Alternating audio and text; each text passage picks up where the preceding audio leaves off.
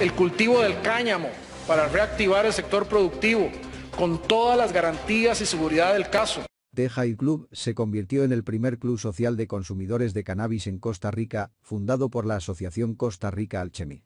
En este espacio, los aficionados del cannabis podrán tener un espacio para compartir, hacer coworking y disfrutar de eventos sociales, explicó Gerald Murray, uno de los fundadores del club y presidente de Costa Rica Alchemy. Vamos a explicaros cómo funciona una asociación canábica.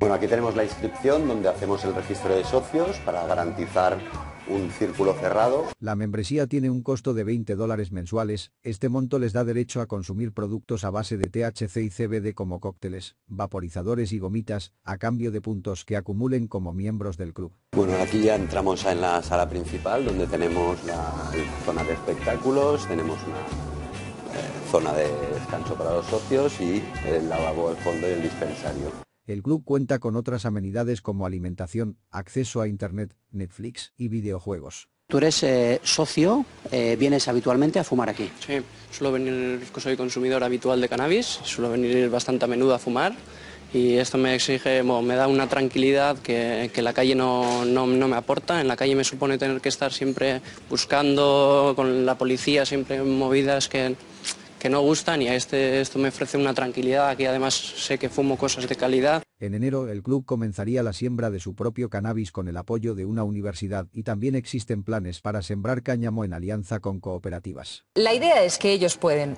cultivar para el autoconsumo y consumir, pero no vender, indica la ley, ¿no? Claro, ellos mm, reparten entonces la marihuana entre los socios que han pagado una cuota, pero eso no se considera vender.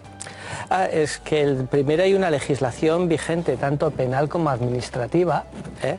y que lo que está prohibido es eh, cuando esos están a la venta o hay lucro de por medio. El dinero, eh, la gente de aquí lo hace sin, sin ánimo de lucro, no son camellos.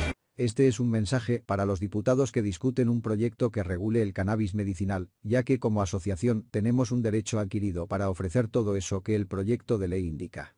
Con el cáñamo no tenemos ningún problema porque puede desarrollarse en nuestro país. Pero el cannabis con THC arriesga la seguridad pública y el tráfico ilícito en nuestro país.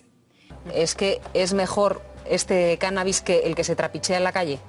Eh, tiene en principio unas garantías mucho mayores que el que hay en la calle. Bueno, pero ¿cómo sabemos la calidad del cannabis en estos clubes? ¿Hay algún tipo de, control de sanidad, por ejemplo? Hay un control eh, interno muy fuerte, tanto de la, de la calidad del THC, de los productos que, que están ahí, etcétera. Es decir, tienen, son las propias personas consumidoras y son ellas las primeras interesadas en que sea un producto de calidad.